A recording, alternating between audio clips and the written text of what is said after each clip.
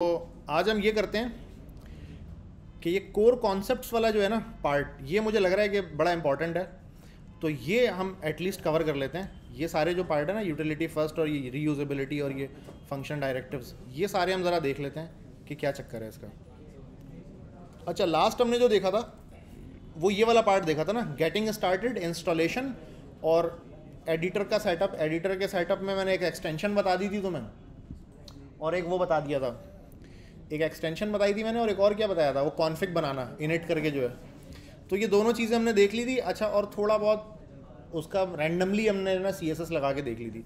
आज ज़रा हम उसको ना कॉन्सेप्ट को ज़रा देखते हैं कवर कर लेते हैं कि ये क्या कह रहे हैं। अच्छा ये यूटिलिटी फ़र्स्ट फंडामेंटल्स जो है ना, इसमें ये ज़िक्र कर रहे हैं हेडिंग में इन्होंने क्या लिखा है ज़रा देख लेते हैं। Building complex components from a constraint set of primitive utilities अच्छा जैसे कि आपको पता है कि टेल विंड सी में ना सारा प्रिमिटिव सी है। कोई इन्होंने खुद का सीएसएस नहीं बनाया, बस वो क्लासेस हैं जो पीछे एक बिल्ट इन सी के तौर पर चल रही होती हैं।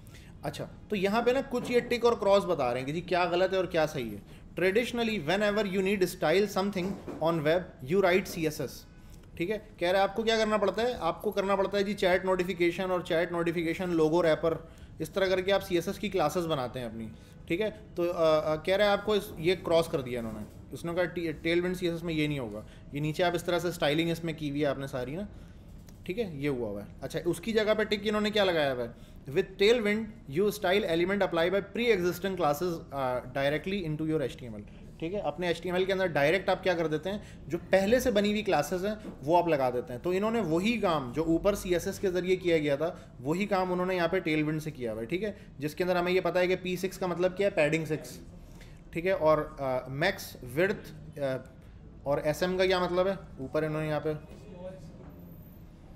ठीक है? मैक्स विर्थ इन्होंने यहाँ पे लगाया हुआ है ट्वेंटी फोर आर सही है? तो यहाँ पे इन्होंने मैक्स विर्थ जो है वो एस एम कर दिया है। एस एम का मतलब है स्मॉल डिवाइस और बैकग्राउंड कलर वाइट और राउंडेड एक्सेल अच्छा ये सारा भी हम देखते हैं आगे चल के कि ये क्या क्या चीज़ है और क्या क्या अवेलेबल है. अच्छा अच्छा यहाँ पे इन्होंने एक्सप्लेन किया हुआ ना? सही है एक्सप्लेन किया हुआ इन्होंने यहाँ पे. इन्होंने एक्सप्लेन किया हुआ ये बड़ी अच्छी बात है. इन्होंने कहा, यार in the example above we have use Tailwind flex box and padding utilities अब टेल विंड का एक अपना फ्लैक्स बॉक्स का सेटअप है. ठीक है? अच्छा सेटअप अपना नहीं है सेटअप वही है पुराना, जो टेल जो एक्चुअल फ्लैक्स बॉक्स है। लेकिन इनका जो फ्लैक्स बॉक्स को लगाने का जो तरीका है, जैसे हम उसमें लिखते थे ना सीएसएस के थ्रू लिखते थे, कि जाते थे हम, एक और एक डिव होता था, उसको हम बोलते थे, भाई, आप क्या हो जाओ डिस्प्ले फ्लैक्स हो जाओ। वो सीएसएस के ज़रिए हम बोलते थे।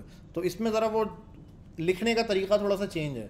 इस पर हम क्या करते हैं डिव के ऊपर डायरेक्ट जाके क्लास लगा देते हैं और क्लास के ऊपर हम क्या लिख देते हैं? यहाँ पे इन्होंने लिखा है ना, ये रहा फ्लेक्स क्लास के ऊपर डायरेक्ट जाके फ्लैक्स लिखते हैं तो इसका मतलब है वो फ्लैक्स बॉक्स हो गया। तो ये चीज़ वही है, इसका पीछे वर्किंग प्रिंसिपल भी वही है, लेकिन तरीका थोड़ा सा ये इन्होंने आसान कर दिया है। ठीक है, कम सी एस एस कह रहे हैं, लिखनी पड़ती है इसमें। अच्छा फ्लैक्स लगाया इसने श्रिंग ज़ीरो लगा दिया, और padding six to control overall card layout तो ये काइंड ऑफ़ ए कार्ड बना हुआ है। ठीक है, ये कार्ड है। The max width and margin utilities ठीक है मैक्स विर्थ एस एम और ये मार्जिन ऑटो, ये दोनों ये मार्जिन यूटिलिटी इन्होंने लगाई है।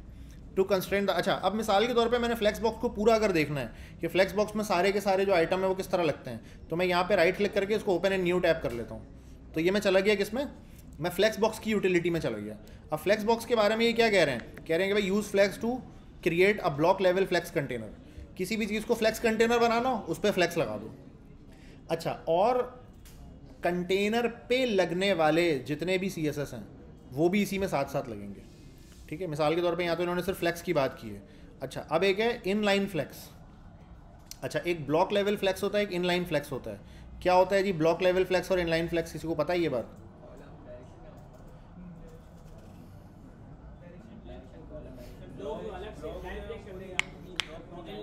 सम टाइम हमें फ्लैक्स बॉक्स ऐसा बनाना पड़ता है, जो कि पूरा एक कार्ड होता है। उसके इधर उधर कुछ नहीं होता। सम टाइम ये होता है कि पैराग्राफ के दरमियान में आपको एक बनाना पड़ता है फ्लैक्स बॉक्स तो ये पैराग्राफ के दरमियान में बनाने के लिए ना इन्होंने ये चीज़ अलग कर दी है। अच्छा ये काम वो सिंपल वाले फ्लैक्स बॉक्स में भी हो जाता है। ऐसा नहीं कि उसमें ये हो नहीं सकता काम, उसमें भी हो जाता है ये। ठीक है? तो यहाँ पे इन्होंने क्या कर दिया? इन लाइन फ्लैक्स इसके अंदर लिख दिया। तो ये इन लाइन फ्लैक्स हो गया। अच्छा अब और आगे चलते जाते हैं। अच्छा ग्रिड हमने कवर नहीं किया था। हम जब फ्लेक्स बॉक्स पढ़ रहे थे तो हमने ग्रिड को टच नहीं किया था। जिस तरह फ्लेक्स बॉक्स लेआउट बनाने का एक तरीका है, इसी तरह ग्रिड भी लेआउट बनाने का एक तरीका है। लेकिन हमने ग्रिड को टच नहीं किया था। तो ग्रिड को हम यहाँ पे भी टच नहीं कर रहे फ़िलहाल, कि ऐसा ना हो कहीं दोनों चीज़ें मिक्स ना हो जाए। ठीक है? ग्रिड और इनलाइन ग्रिड को हम ऐसे ही छोड़ देते हैं। किसी ने अगर ग्रिड पढ़ना हो तो पहले ग्रिड सिंपल वाला पूरा कॉन्सेप्ट समझेगा उसका, कि ग्रिड काम किस तरह करता है। उसके बाद यहाँ पे आके वो ग्रिड को इस्तेमाल कर सकता है। सही है जी? अच्छा अब ये वापस देखो फ्लैक्स बॉक्स पे आ गया। अच्छा contents use content to create phantom container वो children act like direct children of the parent अब ये पता नहीं फैंटम क्या चीज़ होती है।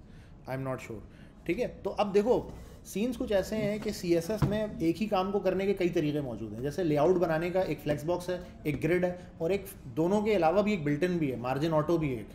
मार्जिन ऑटो करके मार्जिन ऑटो और फ्लोट करके उसको चलाते थे। यानी फ्लेक्स बॉक्स और ग्रिड से भी पहले लेआउट तो बनते थे ना? तो वो वाला तरीका करते थे वो। तो अब हो सकता है कि फ्लैक्स बॉक्स और ग्रिड के अलावा भी कोई नया आ गया हो, जो कि मुझे भी नहीं पता। तो यहाँ पे वो भी सारा होगा, क्योंकि इसमें सब कुछ मिक्स है मिक्स पत्ती यही पूरा। लेकिन आपने क्या करना है? क्या आपके लिए ज़रूरी है कि टेल विंड अगर आप लगा रहे हैं तो आप ग्रिड भी लगाएँ और फ्लैक्स बॉक्स भी लगाएँ? नहीं। आप जो करते थे पहले, आप वही करेंगे। आपको जो आता है सीएसएस में आप वही करेंगे। जिस बंदे को सीएसएस नहीं आती डायरेक्ट टेल विंड करेगा, उसको कुछ नहीं समझ आएगा। जिस बंदे को सीएसएस नहीं आती है, वो डायरेक्ट टेल विंड में आएगा तो क्या करेगा? कुछ भी नहीं करेगा। सही है? तो जो सीएसएस में आपको आता था, उसी को आप इस्तेमाल करते हुए बनाएँगे सारा कुछ। अच्छा जी टेबल के मामले में जो ना यहाँ पे अच्छा ये अब फ्लैक्स बॉक्स तो यूटिलिटी खत्म हो गई ये अब टेबल पे मूव कर गया आगे। ठीक है? हम वापस बंद कर देते हैं इसको और कोर कॉन्सेप्ट कोर कॉन्सेप्ट में वापस आ जाते हैं। अच्छा तो ये सारा इन्होंने बता दिया यार। कि जी विर्थ हाइट ऐसे विर्थ बारह और हाइट बारह, ऐसे करके लगा दिया। अच्छा स्पेस बिटवीन लगा दिया स्पेस एक्स फोर ठीक है? To handle the spacing between the logo and the text ठीक है? अच्छा स्पेस बिटवीन के अंदर इन्होंने किस तरह लिखा है? स्पेस एक्स फोर लिखा है। क्योंकि हमारे केस में तो स्पेस बिटवीन होता था जस्ट ये फोर कहाँ से आ गया? क्या फोर की जगह फाइव भी लिखा जा सकता है? तो इसके लिए मुझे देखना पड़ेगा कि मैं राइट क्लिक करूँगा ओपन इन न्यू टैब तो मैं ये स्पेस बिटवीन के अंदर चला जाऊँगा यहाँ। अच्छा यहाँ पे इन्होंने बोला कि यार स्पेस बिटवीन को है ना कंट्रोल करते हैं space between child and elements between child elements अच्छा मिसाल के तौर पे मेरे पास क्या होगा? एक कंटेनर होगा, उसमें चार अंदर चाइल्ड हैं उसके। अच्छा वो चार चाइल्ड हैं। तो मैं कंटेनर पे जाके क्या बोलता हूँ कि जस्टिफाई कॉन्टेंट स्पेस बिटवीन ठीक है? या स्पेस अराउंड या स्पेस स्पेस इवनली ठीक है? ये तीन अप्रोच होती है हमारे पास। तो स्पेस बिटवीन लगाने के साथ साथ यहाँ पे इन्होंने क्या लगा दिया? कि जी मार्जिन लेफ़्ट भी लगा दिया। स्पेस बिटवीन भी लगेगा और मार्जिन लेफ़्ट भी लगेगा साथ साथ। दोनों एक साथ लगेगा। क्योंकि स्पेस बिटवीन में मार्जिन की ज़रूरत पड़ती है साथ में थोड़ी सी ना? ठीक है? तो यहाँ पे इन्होंने लिखा है कि यार स्पेस एक्स ज़ीरो एक्स का मतलब है कि लेफ़्ट और वाई का मतलब है टॉप सही है? तो टॉप और लेफ़्ट पे काम हो रहा है, इसमें बॉटम और राइट पे नहीं हो रहा। तो अगर मैं इसको ये बोलता हूँ कि स्पेस एक्स वन तो इसका मतलब है कि मैंने एक तो यानी पेरेंट पे मैं ये बात लिख रहा हूँ ना, ये बात मैं किस पे लिख रहा हूँ? पेरेंट पे लिख रहा हूँ। तो चिल्ड्रन को मैं कह रहा हूँ स्पेस बिटवीन हो जाओ और साथ साथ अपने पास क्या ले लो? मार्जिन लेफ़्ट ले लो ज़ीरो पॉइंट टू फाइव आ रही सही है? या चार पिक्सल इस तरह करके ले लो आप। तो ये समझ आ गया कि स्पेस एक्स के साथ ये वन टू कहाँ से आ रहा है? अच्छा जब ये स्क्रीन पे चलेगा तो कुछ इस तरह से दिखेगा। ठीक है? फ्लेक्स बनाया, जो कंटेनर पे लगने वाला आइटम है, वो कंटेनर पे ही लग रहा है इस पर फ्लैक्स बॉक्स बनाया इसको और इसी के ऊपर लगा दिया justify content space X four ठीक है? तो स्पेस इवनली करके और ये मार्जिन भी आ गया बीच में फोर सही है, बेहतरीन है, ज़बरदस्त है। अच्छा अगर वही काम वर्टिकल करना हो तो सबसे पहले तो डायरेक्शन को कॉलम करना पड़ेगा ना, जब ही तो वर्टिकल होगा। और उसके बाद इसने बोला कि स्पेस वाई और फोर ठीक है? वाई का मतलब है मार्जिन टॉप अच्छा ये समझ आ गया, बंद कर देते हैं इसको, वापस यहाँ आ जाते हैं। अच्छा। फॉन्ट साइज़, टेक्स्ट कलर और फॉन्ट वेट। ये कैसे है जी? टेक्स्ट एक्सेल यानी टेक्स्ट का जो साइज़ है, वो यहाँ पे हम एक्सेल में लिख रहे हैं। ठीक है तो देख लेते हैं और कौन कौन से टेक्स्ट साइज़ हैं। ओपन इन न्यू टैब किया हमने। यहाँ पे आके देख लिया। ठीक है? अच्छा फॉन्ट का जो साइज़ है एक्स एल जो है। एक्स एल का मतलब है क्या हो जाएगा? ये one point two five R E M हो जाएगा। ठीक है? एच वन का जो साइज़ होता है, वो क्या, कितना आर एम होता है? पता है किसी को? है? ट्वेंटी फोर पिक्सल नहीं. थर्टी टू पिक्सल होता है. आर एम में कितना होता है? टू आर होता है. सही है? तो बॉडी का जो भी टेक्स्ट का साइज़ होता है, उसका डबल एच वन होता है. सही है? अब मिसाल के तौर पर बॉडी का जो साइज़ है बाई डिफ़ॉल्ट वो सोलह पिक्सल होता है. तो हेडिंग का साइज़ क्या हो जाएगा? ऑटोमेटिकली बत्तीस पिक्सल होगा। तो टू आर पे वो बाई डिफ़ॉल्ट सेट हुआ हुआ होता है। आप अगर बॉडी का टेक्स्ट का साइज़ बढ़ाएँगे ना अगर तो आप ये नोट करेंगे कि एच वन का साइज़ खुद ही बढ़ जाता है। ऑटोमेटिक नोट किया है ना ये? सी एस एस पे थोड़ा बहुत काम किया होगा तो ये नोटिस कर ही लिया होगा। ठीक है? तो ऑटोमेटिकली वो टू आर हो जाता है। तो आर पे हम क्यों सेट करते हैं साइज़ को? आर पे हम इसलिए सेट करते हैं ताकि मेरा जो फॉन्ट का साइज़ है वो रिलेटिव हो बॉडी के साइज़ से। बॉडी का साइज़ अगर सम हाउ कभी भी चेंज होता है तो मेरा पूरा जो यूआई है, उसका सबका साइज़ एक साथ बढ़े। ठीक है? तो यहाँ पे इसने बोला कि यार एक्सेल पे जो है वो क्या हो जाएगा? 1.25 हो जाएगा। अच्छा फिर जो आपका, जो थ्री एक्सेल है थ्री एक्सेल के ऊपर जो है ना, वो क्या हो जाएगा? 1.8 समथिंग हो जाएगा। अच्छा एक तो फॉन्ट साइज़ है और एक लाइन हाइट है। लाइन हाइट भी ये साथ साथ बढ़ा रहा है। ठीक है फॉन्ट साइज़ के साथ साथ ये लाइन की हाइट भी बढ़ा रहा है, क्योंकि ज़ाहिर है जब फॉन्ट बड़ा होता है तो लाइनों को भी ज़रा फासला करना पड़ता है आपस में, वरना वो बड़ा फॉन्ट ज़रा मिक्स होने लग जाता है। अच्छा उसके बाद फोर एक्सएल के ऊपर ना ये direct two point two five पे चले जाते हैं। ठीक है टू आर का कोई केस है ही नहीं इनका। टू आर का सीन नहीं है इनका। ठीक है वेल इन्होंने यहाँ पे लिख के भी बता दिया कि किस तरह का दिख रहा होगा। ठीक है, किस तरह का दिख रहा होगा। यहाँ पे इन्होंने लिख के बता दिया।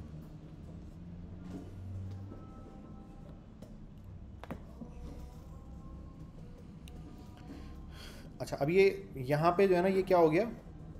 लाइन हाइट यहाँ पे आ गया और लाइन हाइट के बाद यहाँ पे फिर ये दूसरी तरफ़ चला गया।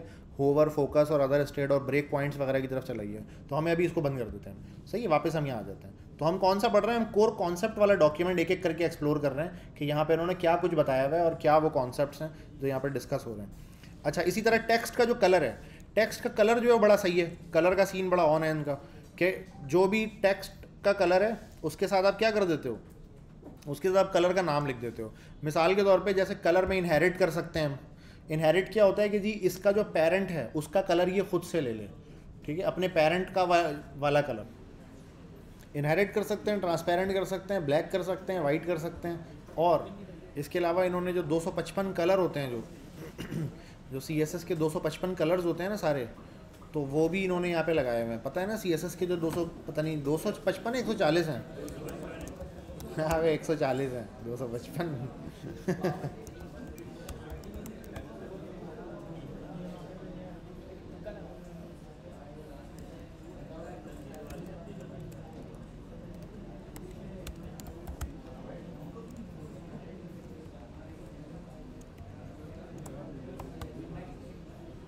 वन फोर्टी हैं भाई वन फोर्टी कलर नेम्स हैं। ये आ गया वो सारे कलर्स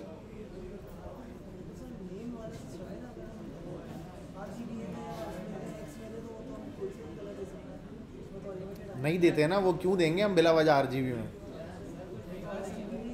हाँ? अच्छा। नहीं, जो मोस्ट कॉमन कलर है, वो सबके नाम लिखे हुए हैं। ठीक है? आरजीबी में भी दे सकते हैं, लेकिन जो मोस्ट कॉमन कलर है, उसके नाम बने हुए हैं। सही है? या उसके अलावा आप क्या कर सकते हैं, जैसे यहाँ पे लिखा हुआ है ना कि टेक्स्ट और सलेट और 600 तो इस तरह ये आप अपना भी बना सकते हैं। लेकिन वो एडवांस कॉन्सेप्ट है, इसका वो अभी अभी नहीं देखते, वो बाद में देखते हैं। ठीक है? तो इन्होंने बोला कि भाई टेक्स्ट ब्लू 600 तो ये ब्लू 600 यहाँ पर आ गया। सही है? अब 600 से इसको करते जाओ, भाई नीचे करते जाओ, नीचे करते जाओ तो ये नीचे होता जाएगा। अच्छा ये स्लैश लगा के ना ट्रांसपेरेंसी है एक्चुअली इसकी। ओपेक्सिटी ओपेक्सिटी है। कि आपने कलर भी देना है साथ में ओपेक्सिटी भी देना है तो वो वाला है। ठीक है? अच्छा ये 600 से भी इसको कम भी कर सकते हैं। 600 की जगह मैं 400, 300 या 100 भी दे सकता हूँ। तो वो कलर की इंटेंसिटी जो है उसके साथ अटैच हुई हुई है। वापस आ जाते हैं भाई इसके अंदर हम। फॉन्ट वेट हमारे पास है। फॉन्ट मीडियम फॉन्ट बोल्ड ठीक है? इस पर आपको पता लग रहा है कि फॉन्ट वेट कितना लगा हुआ है पीछे। ये सारा प्लेन सी एस है। अच्छा कह रहे हैं कि यार just inline C S S अगर उसकी जगह लगा लें हम तो क्या सही नहीं है ये? तो उसके बाद, उसके बारे में बात करें कि common reaction to this approach is wondering isn't this just inline styling कि just inline C S S लिखते या इन लाइन पर आप टेल विंड लिख रहे हो तो ये तो एक ही बात हो गई, कोई फ़र्क तो नहीं है ये। And some ways it is कह रहे कि किसी हद तक तो ये बात सही है कि ये इन लाइन स्टाइलिंग है just you are applying style directly to element instead of assigning them a class name and then styling that class ठीक है? पहले हम क्या करते हैं? आमतौर पे क्लास लगाते हैं और क्लास पे फिर स्टाइलिंग अप्लाई करते हैं। लेकिन ये कह रहा है कि आप क्या कर रहे हैं? बनी बनाई क्लास है डायरेक्ट एलिमेंट पे लगा देते हैं। But using utility classes has a few important advantages over inline style कह रहा है यूटिलिटी की जो सी बनी हुई है, पहले से क्लासेस बनी हुई हैं, उनको इस्तेमाल करने में कुछ एडवांटेजेस हैं। जो प्लेन सी एस एस अगर इनलाइन लगाते हैं तो उसमें नहीं होगा ये। क्या है वो?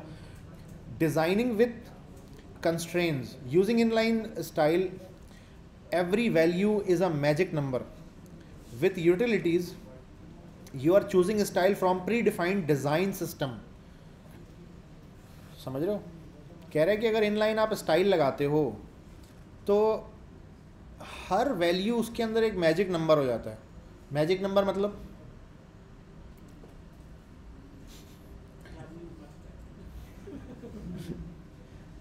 वेल तो मतलब हर नंबर अलग अलग होता है वो, ठीक है? हर नंबर के ऊपर आपको सोचना पड़ता है कि इसमें मैं क्या लगाऊँ, या कहीं ना कहीं से देखना पड़ता है कि इसमें मैं क्या लगाऊँ।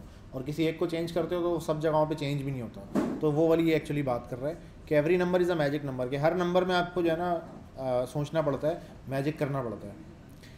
अच्छा तो कह रहे हैं कि जब आप ये लगाते हो ना यूटिलिटी क्लासेस तो आप डिज़ाइन सिस्टम में प्री डिफाइंड कुछ चीज़ें हैं वहाँ से उठा के लगा रहे होते हो। अच्छा which makes it much easier to build visually consistent U I? कि, क्योंकि जब सब जगह एक ही ब्लू 500 लगा हुआ है सब जगह तो वो पूरी यूआई पे सब जगह ब्लू 500 एक ही होगा। और समहाउ आपने वो ब्लू 500 चेंज करना है तो आप उसको चेंज भी कर सकते हैं, लेकिन उसकी ज़रूरत नहीं पड़ती है आमतौर पर तो ये डिज़ाइन सिस्टम को जो है ना ज़रा एक नज़र आप देख लेते हैं कि ये डिज़ाइन सिस्टम क्या भला है, जिसकी ये बात कर रहे हैं। अच्छा ये मैं एक्चुअली आपको टेलविंड नहीं पढ़ा रहा। ये मैं आपको असल में डॉक्यूमेंट पढ़ना सिखा रहा हूँ। डॉक्यूमेंट पढ़ने का तरीका सिखा रहा हूँ मैं आपको। इस तरह से कोई भी डॉक्यूमेंट पढ़ोगे, आप पढ़ सकते हो। ठीक है? तो आप ये नहीं समझो कि टेल विंड है तो आप खुद भी खोल के पढ़ सकते हो। लेकिन इसको पढ़ना कैसे? किसी भी डॉक्यूमेंट को यूज़ कैसे करना है? तो ये ये भी आपको असल में सिखा रहा हूँ मैं। अच्छा ये कह रहा है कि यार, जो थीम की कन्फिग्रेशन है, ये कौन सी एडिंग पे लेकर आया आपको? ये कस्टमाइजेशन पे और थीम पे लेकर आया तो यहाँ पे आप नोट करें कि जो है ना, सब इन्होंने बता दिया यहाँ पे कि ब्लू पे कौन सा कलर होगा। पर्पल पे कौन सा कलर होगा? पिंक पे कौन सा कलर होगा?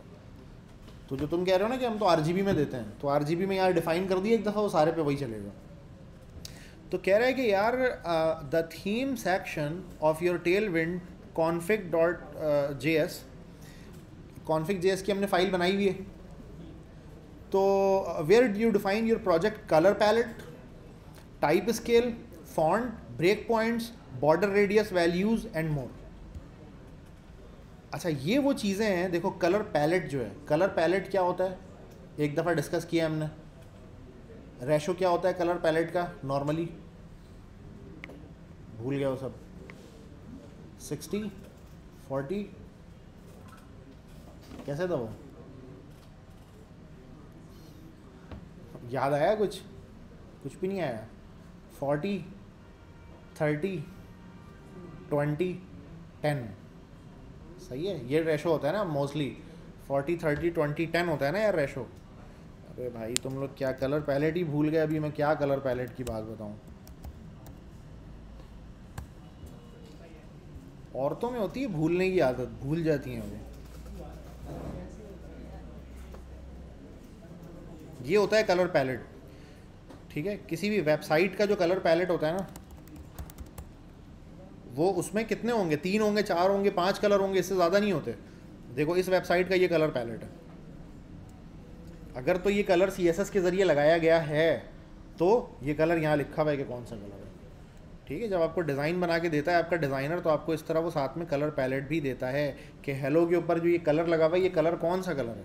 तो ये कलर ये खड़ा हुआ है। सही है? और ये जो आपका तो जो पैराग्राफ लिखा हुआ है यहाँ पे, ग्रे कलर में लिखा हुआ है। तो ये ग्रे कलर ये रहा। जिस पे कुछ नहीं लिखा हुआ है, वो तो वाइट है। तो वो वाइट है, सही है। ठीक है? उसके अलावा आपके पास जो इस कलर की भी दो शेड हैं। एक तो शेड ये वाला है, जिसमें ये मेन्यू भी बना हुआ है, ये ऊपर लोगो भी बना हुआ है, लेकिन एक यहाँ पे बॉर्डर लगा हुआ है। इसके ऊपर एक डिफरेंट कलर है तो वो ये खड़ा हुआ है आगे। सही है? तो वो प्राइमरी सेकेंडरी करके उसको हम कंसिडर कर रहे होते हैं कि जी प्राइमरी कलर ये है सेकेंडरी कलर ये है। इस तरह करके कर रहे होते हैं अच्छा इसके लिए मैंने एक वेबसाइट भी बताई थी।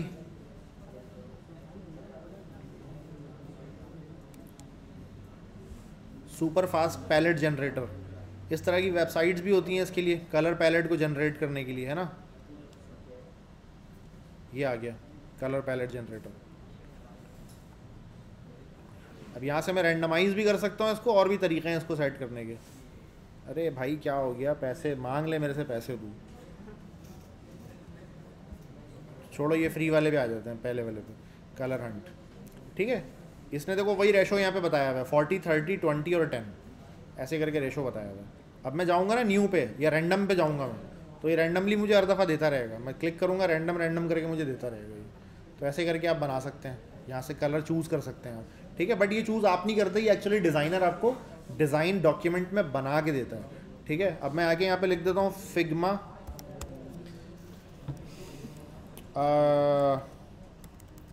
design with colour palette website भी लिख देता हूँ साथ में कि कुछ और ना ले आइए। सही है? फिग्मा वेबसाइट डिज़ाइन मैंने लिख दिया और विथ कलर पैलेट ये लिख दिया मैंने। नहीं, मैं वैसे ही लिख देता हूँ। कलर पैलेट के ज़िक्र नहीं करता मैं। फिग्मा वेबसाइट डिज़ाइन लिख देता हूँ जस्ट तो यहाँ पे ना बहुत सारे देखो आ जाते हैं। क्या अच्छा ये तो बहुत मैंने जनरल लिख दिया। हेयर ड्रेसर वेबसाइट और साथ में मैं फिग्मा लिख देता हूँ। ठीक है, ताकि एक रियल वेबसाइट मेरे पास आ जाए। ये आ गया जी हेयर सलोन ठीक है जी। ये फिग्मा का डिज़ाइन आ गया मेरे पास। अब इसमें अगर ये कोई अच्छा डिज़ाइनर होगा जिसने अच्छे से डिज़ाइन किया है तो साथ में इसने क्या बताया हुआ होगा? साथ में इसने ये कलर पैलेट वाली सारी चीज़ें भी बताई हुई होंगी।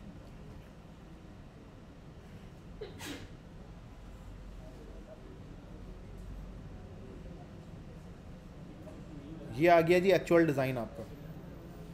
अच्छा इसमें इन्होंने कलर पैलेट का अलग से नहीं बनाया हुआ, लेकिन आपको पता लग रहा है इसको एक बिग पिक्चर में देख के ना आपको पता लग रहा है कि इसके कलर पैलेट में ना जो तीन या चार जो मोस्ट कॉमन कलर हैं नंबर एक तो है ब्लैक ब्लैक का एक ख़ास शेड है, थोड़ा थोड़ा ग्रे टाइप का है वो. दूसरा ये क्रीम कलर इसके अंदर हल्का सा दिख रहा है मुझे, और उसके साथ वाइट कलर दिख रहा है. सही है.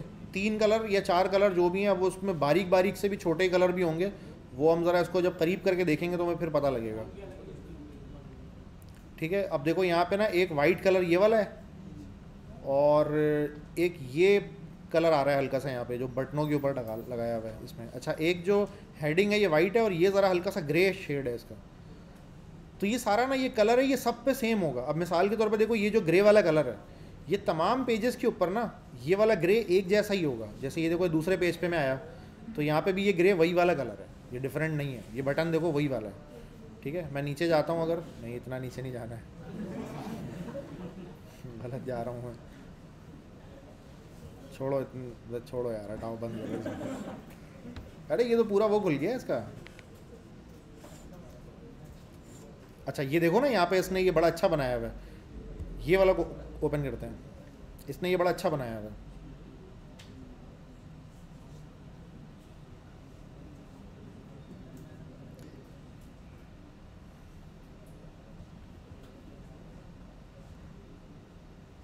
अच्छा नहीं, ये तो कंपोनेंट्स ये तो पूरे कंपोनेंट्स इसने बना दिए एक्चुअली ये ये बूट स्ट्रैप टाइप की चीज़ बना दी इसने।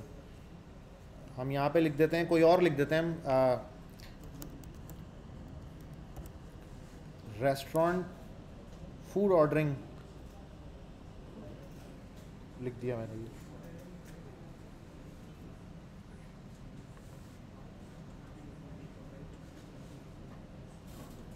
ये फ़ूड ऑर्डरिंग ऐप है अच्छा ये तो बहुत ही कोई फारिग किस्म का डिज़ाइन है, इसमें ये कहाँ देगा वो? पैलेट यार कोई नहीं बना के दे रहा, ये सारे अच्छे डिज़ाइनर किधर चले गए हैं? क्लास ले रहे हैं यहाँ पे बैठ के अच्छा।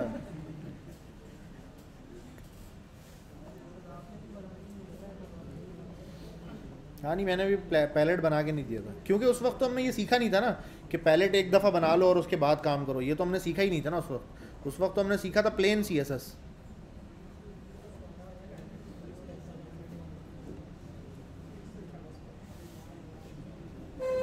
Apple की वेबसाइट का किसी ने बनाया है कोई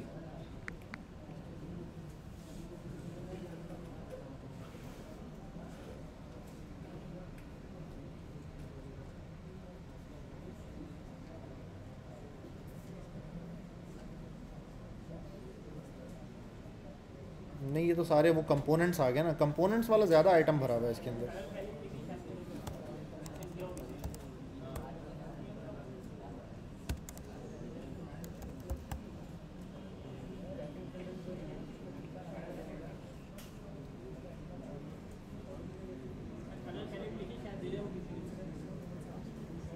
ये मुझे लग रहा है किसी का अच्छा डिज़ाइन खुला है ये वाला। ये किसी ने अच्छा डिज़ाइन खोला है।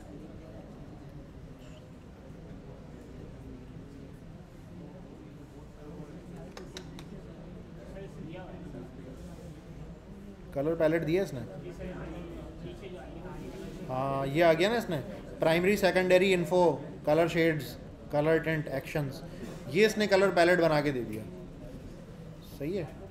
और ये जो पेज बना हुआ है, इसके अंदर ये वाले कलर इस्तेमाल हुए हैं। बड़ी मुश्किलों से हमने ढूंढ के निकाला है, लेकिन फाइनली हमें ये मिल गया। ये देख रहे हो? सिंपल सा पेज है, कोई ज़्यादा इसके अंदर मसला नहीं है पेज के अंदर, लेकिन जब आप नीचे आते हो तो यहाँ पे इन्होंने बता दिया है कि यार इसके अंदर जो कलर्स लगेंगे, वो कौन से लगेंगे? वो ये वाले लगे हुए कलर्स इसके अंदर। ठीक है? Neutral colours primary colour secondary colour info colour इसमें अगर कोई अलर्ट बॉक्स खुलेगा तो वो शायद इस कलर का खुलेगा। अलर्ट बॉक्स ठीक है? और अलर्ट बॉक्स के अंदर जो है वो किसी न्यूट्रल कलर से कोई बात लिखी हुई होगी। ये आ गए। टेंट सारे ये वाले हैं कि ग्रीन के अलग अलग शेड जो होंगे ना, वो ये वाले होंगे। और एक्शंस यानी मिसाल के तौर पे इसमें कोई सेंड मैसेज का बटन होगा या सब्सक्राइब का बटन होगा तो वो इनमें से कोई होगा, ठीक है?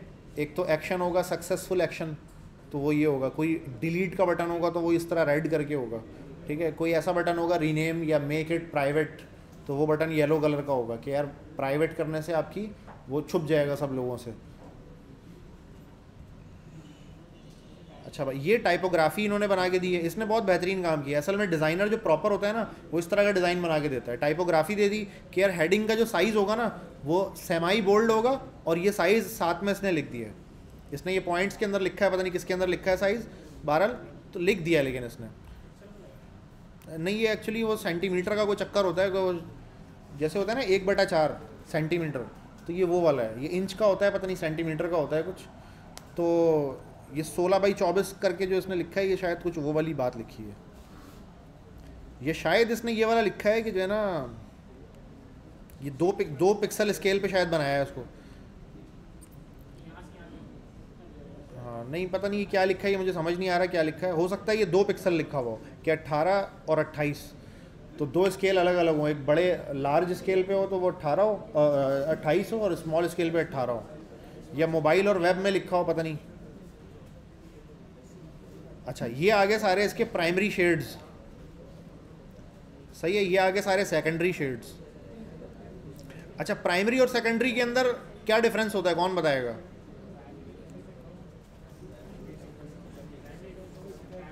ये डिज़ाइन का सवाल है। अब एक लॉगिन का बटन है एक साइन अप का बटन है। क्या दोनों प्राइमरी है या दोनों सेकेंडरी है? कौन सा प्राइमरी है?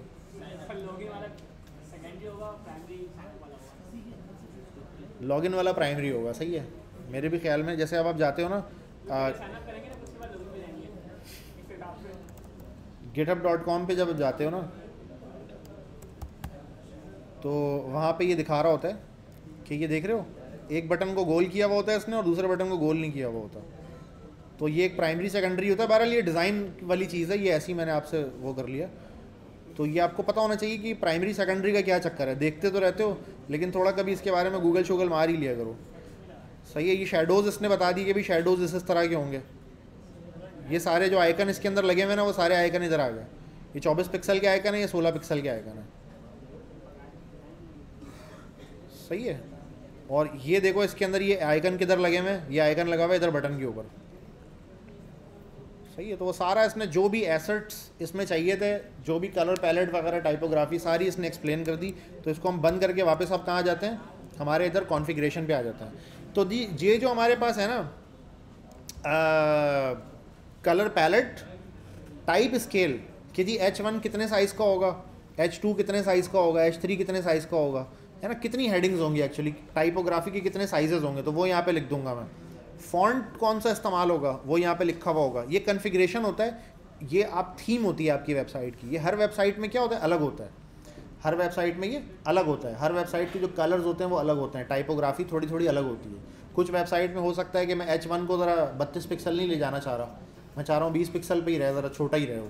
तो वो यहाँ पर बड़े आसान के साथ मैं कर सकता हूँ। ब्रेक पॉइंट्स हर वेबसाइट के अपने अपने होते हैं अलग अलग मिसाल के तौर पे बाई डिफ़ॉल्ट अगर मैं क्रोम पे जाता हूँ बाई डिफ़ॉल्ट अगर मैं गूगल क्रोम पे जाता हूँ और मैं उसको बोलता हूँ कि यार मोबाइल मीडियम तो मोबाइल मीडियम बाई डिफ़ॉल्ट ये किस पे लेकर आता है? ये लेकर आता है 375 पिक्सल पे।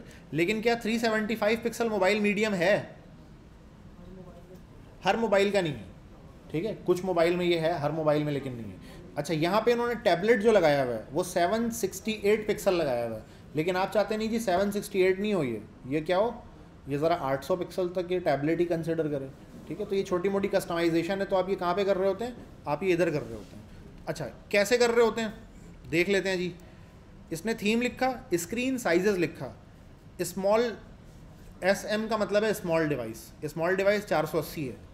मीडियम डिवाइस 768 है, यानी कि वो टैबलेट वाला साइज़ लार्ज डिवाइस 976 है। अच्छा ये गूगल क्रोम लार्ज डिवाइस कितने पे बता रहा होता है? यानी कि लैपटॉप कितने पे लेकर आ रहा होता है ये? लैपटॉप लाता है वन ज़ीरो टू फोर पे लाता है ये। ठीक है? लेकिन यहाँ पे इन्होंने बोला, भाई 900 पिक्सल पे ले आओ। फिर एक्स्ट्रा लार्ज जो 1440 है गूगल क्रोम भी यही बताता है 1440 लार्ज लैपटॉप तो ये ये हमने डिसाइड कर लिया। अच्छा इस एसएम का एमडी का नाम भी चेंज कर सकता हूँ। मैं लिख देता हूँ मोबाइल मैं लिख देता हूँ यहाँ पर टैबलेट मैं ये भी कर सकता हूँ। ठीक है? तो जो लिखा होता है ना कि एसएम करके जो बात लिख रहा हूँ मैं क्लास में, फिर वो चेंज हो जाएगी। फिर वो ये लिखूँगा मैं। मैं मोबाइल डैश लिखूँगा। सही है? लेकिन आमतौर पे इतना करते नहीं हैं, आमतौर पे वही रखते हैं जो इन्होंने बताया है। कलर्स अब ब्लू के अगेंस्ट कौन सा होना चाहिए? ब्लू के अगेंस्ट बाई डिफ़ॉल्ट तो एक रखा हुआ है उन्होंने। तो ब्लू के अगेंस्ट कौन सा होना चाहिए? ये होना चाहिए। तो ये मैं बता दूँगा, मेरे चार जो है। अच्छा इसमें मैं प्राइमरी भी लिख सकता हूँ। मैं लिखूँगा, यार प्राइमरी के अगेंस्ट ये होना चाहिए। प्राइमरी वैसे कोई कलर नहीं होता, लेकिन फिर प्राइमरी एक कलर बन जाएगा आपके, इस थीम के अंदर अंदर। तो जब आप लिखते हैं ना कि ब्लू फाइव हंड्रेड तो उसकी जगह आप लिखेंगे प्राइमरी ठीक है? अच्छा प्राइमरी में भी one hundred two hundred three hundred आप कर सकते हैं तो वो सारा लाइन से आपको यहाँ लिखना पड़ेगा। फॉन्ट फैमिली में सेंस सेंस में ये तीन हो गए ना जी, आप जो फॉल बैक लगाते हो कि जी एक प्राइमरी होता है और बाकी अगर वो ना मिले तो दूसरा, वो ना मिले तो दूसरा, ऐसे करके आप लगाते हो। तो वो सेंस करके और ये पूरा लगा दिया, ठीक है? सैरिफ करके ये दो पूरा लगा दिया। किसी भी वेबसाइट में दो तरह के फॉन्ट हो सकते हैं ना, एक सेंस सैरिफ होता है और एक सैरिफ होता है, ठीक है? सेंस सैरिफ कौन सी जगहों पर इस्तेमाल होता है? ये सी एस एस सारा घूम के आ रहा है वापस और सारा भूल चुके हो तुम लोग। सेंस सैरिफ कौन सी जगहों पे इस्तेमाल होता है एक वेबसाइट के ऊपर? जल्दी बताओ। और क्यों? ये भी बताना है साथ में। सेंस सैरिफ पहले तो होता कौन सा? ये बताओ। चोंच के बगैर वाला होता है। सही है, बिल्कुल। अच्छा कहाँ लगता है? हेडिंग पे लगेगा। अच्छा जो चोंच वाला है वो हेडिंग पे लगेगा। अच्छा और जो ये बगैर चोंच वाला, ये कहाँ लगता है? ये लॉन्ग पैसेजेस पे लगता है, ठीक है? लॉन्ग पैसेजेस पे क्यों लगाते हैं ये बगैर चोंच वाला? क्योंकि ये इस तरह का जो फॉन्ट है, ये लो रेजोल्यूशन स्क्रीन पे ये सही दिख जाता है। अगर चोंच वाला हो तो वो लो रेजोल्यूशन स्क्रीन पे सही नहीं दिखता। ठीक है? अगर छोटा साइज़ का अगर फॉन्ट है और लो रेजोल्यूशन स्क्रीन है और आपने लगा दिया चोंच वाला तो वो सही नहीं दिखेगा, मसला करेगा। क्योंकि पिक्सल होता है चकोर तो ये जो बगैर चोंच वाला है, वो चकोर चकोर होता है सारा, वो सही दिखता है उसके ऊपर, ठीक है? अच्छा तो सैरिफ और सैन सैरिफ दो तरह का हो सकता है। अच्छा इसके अलावा भी हो सकता है। इसके अलावा भी हो सकता है ना तीन चार फॉन्ट भी होता है। मिसाल के तौर पर हेडिंग सारी मैं डालता हूँ रोबोटो से, लेकिन मैं टेक्स्ट लिखता हूँ सारा एरियल में। ये भी हो सकता है। तो जितने भी फॉन्ट होंगे, वो सारे यहाँ मैं लाइन से लिख दूँगा। ठीक है? अच्छा उसके अलावा जो आपका स्पेसिंग वगैरह जो भी है, सारी बॉर्डर रेडियस है, वो सारा यहाँ लिख दूँगा कि जी फोर एक्सएल करें ना तो दो आर e का बॉर्डर लग जाए। लिखने की ज़रूरत नहीं होती बाई डिफ़ॉल्ट इस पर लगा हुआ है कुछ ना कुछ। लेकिन अगर कोई चाहता है, हमने तो नहीं लिखा है, लेकिन हमारे पास तो चल रहा है सारा। तो ये वो है कि कस्टमाइजेशन अगर करनी है तो अगर करनी है तो तो ये वो वाला आइटम है सारा। ठीक हो गया। अच्छा उसके बाद आप ये देख लो थीम स्ट्रक्चर कि ये जो ये जो इन्होंने ये थीम पूरी बना दी ना इस पूरी थीम का भी ये थोड़ा थोड़ा करके अब इसको ये आ, क्या करते हैं वो कर रहे हैं। जैसे अभी ये स्क्रीन्स को अलग डिफाइन कर रहे हैं कलर्स को अलग डिफाइन कर रहे हैं। तो ये कह रहे हैं कि यार the theme object contain keys screen colour and spacing as well as keys for each customisable core plugin कह रहे हैं कि ये तो सीधे सीधे तो आइटम हो गई है अब कोर प्लगइन्स करके कोई चीज़ है इनके पास। कह रहे हैं वो भी हो सकती है इसमें, उसको भी कस्टमाइज़ किया जा सकता है। अच्छा कह रहे हैं कि यार, आप क्या देखोगे? थीम रेफरेंस देखोगे सबसे पहले? थीम का रेफरेंस क्या बताएगा आपको?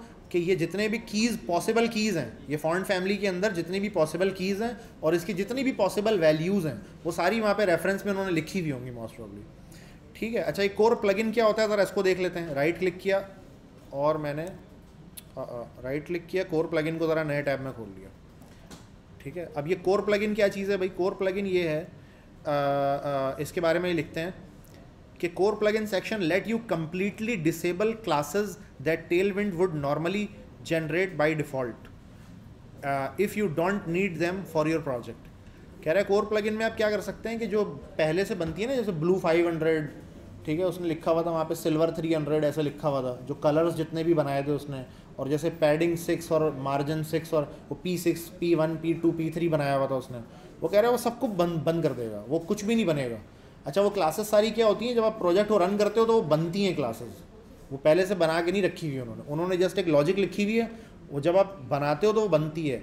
इस, यही वजह है कि जब आप थीम के अंदर कोई बात लिखते हो ना, जैसे आपने लिखा कि कलर रेड अब रेड के नाम से कलर तो मौजूद है उसमें, लेकिन रेड के नाम से जो कलर है उसमें एक ख़ास नंबर लगा हुआ है, जो वो लगाता है। लेकिन आप थीम में जब उसको चेंज करते हो तो वो चेंज हो जाता है। ठीक है? मिसाल के तौर पे आप लिख देते हो प्राइमरी 100 तो प्राइमरी 100 बाय डिफ़ॉल्ट कोई क्लास है ही नहीं इस नाम से। लेकिन जब आप बना देते हो, उधर लगा देते हो प्राइमरी 100 तो आ जाती है।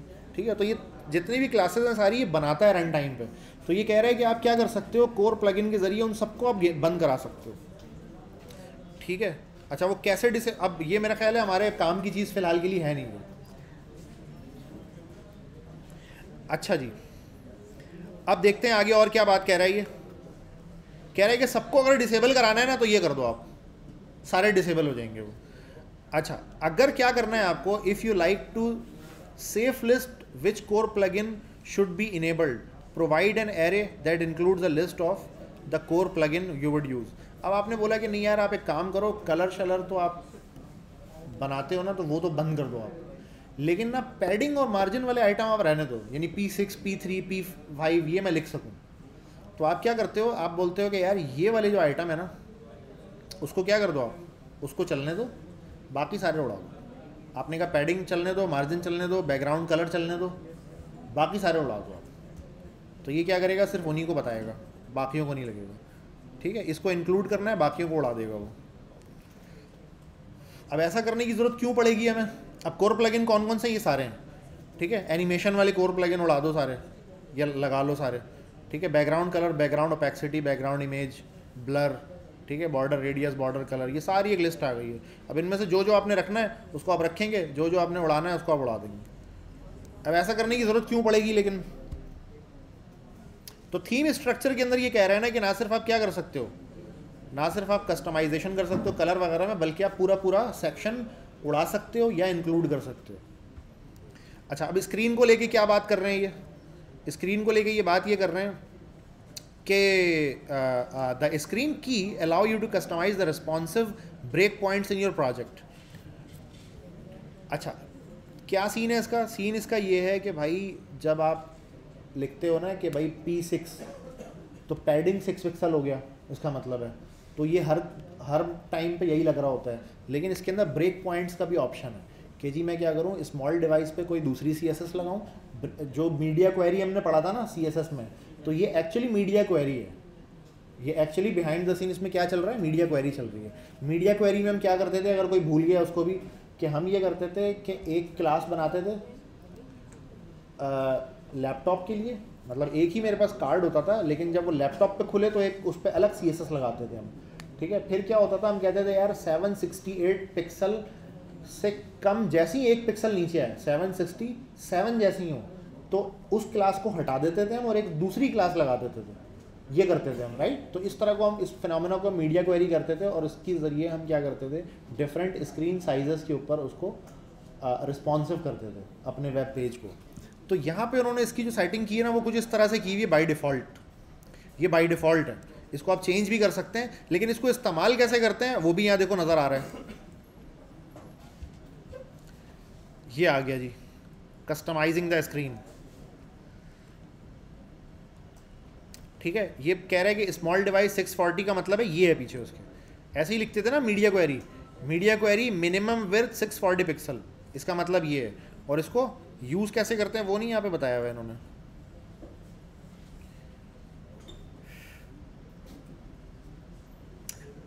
ठीक है तो ये सारी कस्टमाइजेशन यहाँ पे आ गई। अब कह रहे हैं कि आप स्क्रीन पे एस की जगह टैबलेट भी लिख सकते हो। ये जो मैं कह रहा था आपसे एसएम की जगह आप टैबलेट लिख दो लैपटॉप लिख दो आप, वो भी हो जाएगा। अच्छा ये आ गया। ये रहा। कह रहे टैबलेट के ऊपर ये लगाना है आपने लैपटॉप के ऊपर ये लगाना है आपने। मिसाल के तौर पे ग्रिड जैसे हमने फ्लैक्स बॉक्स पढ़ा है ना, हमने तो ग्रिड नहीं पढ़ा।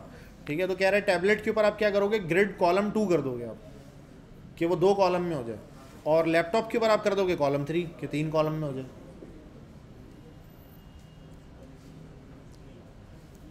अच्छा भाई। और ये ब्रेक पॉइंट्स इन्होंने एक अलग से भी एक बनाया हुआ है यहाँ पे ना। ब्रेक पॉइंट्स इन्होंने एक जगह अलग से भी बना के दिया हुआ है यहाँ पे। कहा गया वो?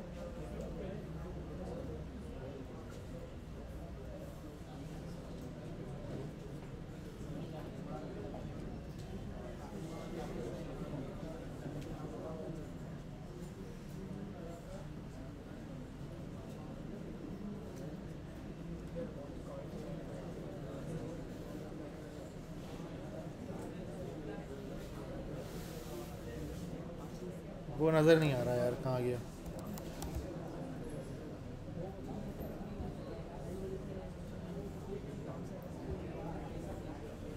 वेल well, इसको बंद कर देते हैं वापस कहाँ आ जाते हैं अपने कस्टमाइजेशन में आ जाते हैं।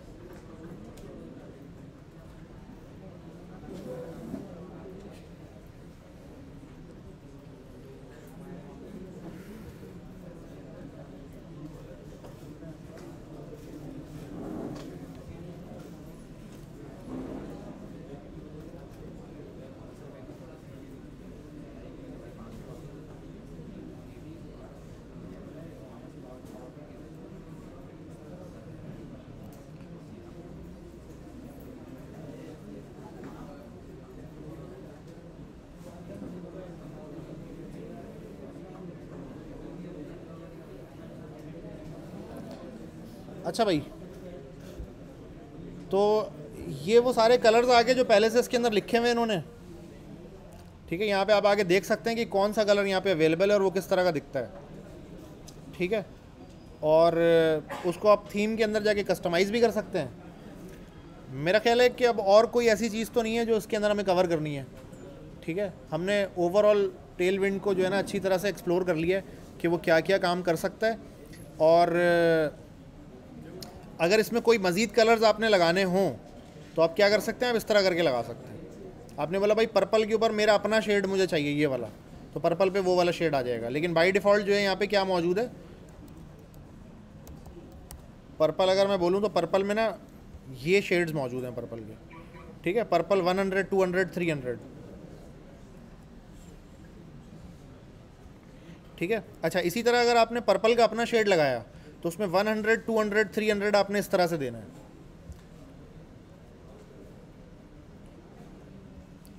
सही है। तो ये हमारा जो है क्या हो गया? टेल विंड जो है ना यहाँ पे कंप्लीट हो गया हमारा। सही है। कंप्लीट तो नहीं हुआ खैर हमने थोड़ा सा डॉक्यूमेंट एक्सप्लोर किया है जिससे हमें थोड़ा सा मेक सेंस हो गया है कि अच्छा जी ये किस तरह से काम कर रहा है। और हमने अल्टीमेटली यही चीज़ नोटिस की है इसके अंदर कि Tailwind is nothing but plain C जो कि हम किस तरह से यूज़ करते हैं यूटिलिटी क्लासेस के थ्रू यूज़ करते हैं। ठीक है, हम इसको मज़ीद एक्सप्लोर करते हैं, लेकिन आपका इंटरेस्ट मुझे लग रहा है ज़रा इसमें लूज़ होता जा रहा है तो हम इसको यहीं तक रखते हैं। सही है? और फिर हम आगे अब मूव करते हैं किधर? हम मूव करते हैं चैट स्क्रीन की तरफ़ मूव करते हैं। सही है? नहीं, बनाना वो तो क्या है, वो तो आप खुद ही बना लोगे, वो तो पता लग गया ना क्या होता है। तो इस पॉइंट पे हमने रिएक्ट सीख लिया है। रिएक्ट सीखने के बाद हमने कोई ऐसा टूल सीखना था जिससे आप रिएक्ट की ऐप को स्टाइल कर सकें? हाँ? हाँ रिएक्ट में क्या बचा है अभी? रिएक्ट कंप्लीट हो गया ना? रिएक्ट में कुछ बचा हुआ है क्या? रिएक्ट में सब पढ़ा दिया ना मैंने। राउटिंग पढ़ा दी।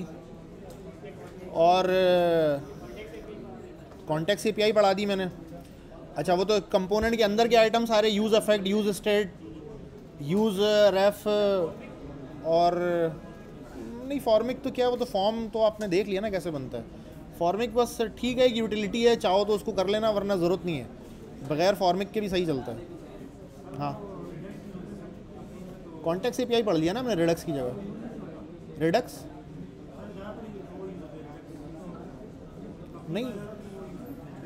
तो यार रिडक्स सीख लेना फिर, पुराना आइटम है लेकिन रिडक्स नया आइटम जो है, वो नंबर एक तो है कॉन्टेक्ट ए नंबर दो है रिडक्स टूल किट लेकिन टूल किट भी मेरा ख्याल है कि वो टूल किट से ज़्यादा पावरफुल ये है कॉन्टेक्स्ट एपीआई ठीक है context A P easy to use है और ज़्यादा पावरफुल है। लेकिन लोगों को पता नहीं है, लेकिन थोड़े दिन में पता लग जाएगा शायद। अच्छा अगर पता ना लगे तो रिडक्स टूल किट थोड़ा सा देख लेना यूट्यूब से, पता लग जाएगा कैसे होता है। ठीक है, अगर बहुत ज़्यादा ही कोई अर्जेंसी हो, उसमें कोई बहुत ही मुश्किल चीज़ हो तो बता देना, मैं यहाँ पर पढ़ा दूँगा, कोई मसला नहीं है। लेकिन क्या होगा, उसके अंदर दो से तीन क्लासेज एक्स्ट्रा हमारी जाएँगी। ठीक है? दो से तीन क्लासेज हमारी उसके अंदर रिडक्स टूल किट के अंदर जाएँगी। क्योंकि उसके अंदर जो सारी यूटिलिटीज़ हैं, सबको एक्सप्लोर करेंगे हम फिर। स्टोरेज बकेट रिएक्ट में थोड़ी है, अभी तो वो रिएक्ट के आगे की कहानी है ना। स्टोरेज बकेट रिएक्ट का पार्ट तो नहीं है ना? अच्छा ये बताओ रिएक्ट में कुछ रह तो नहीं किया और इसके अलावा? सॉकेट भी रिएक्ट का पार्ट नहीं है, वो आ गया अभी। हाँ नेक्स्ट जे का ओवरव्यू हमने लेना है, थोड़ा सा, लेकिन अभी नहीं वो अभी नहीं। ज़रा इसको हम जो हमारी चैट ऐप कंप्लीट कर लें ज़रा पहले। इसी के अंदर रहते रहते फिर उसके बाद हम नेक्स्ट को देखते हैं कि क्या रिपोर्ट है उसकी। सही है?